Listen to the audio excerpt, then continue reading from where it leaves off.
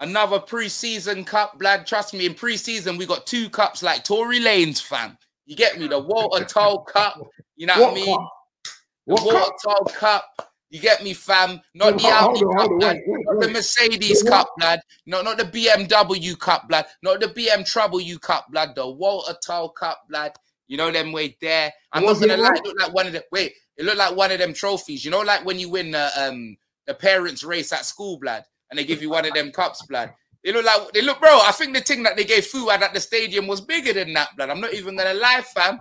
But you get me, fam. We move. You get me. Uh, you Two preseason cups are better than no cups, blood. Yeah, you well, get me, fam. It's better than having nobody. You know what I mean? Like keep sweat, blood. You know them way there, fam. That's it for you guys for the season, bro. You know what I mean? That's it. You're what do you mean?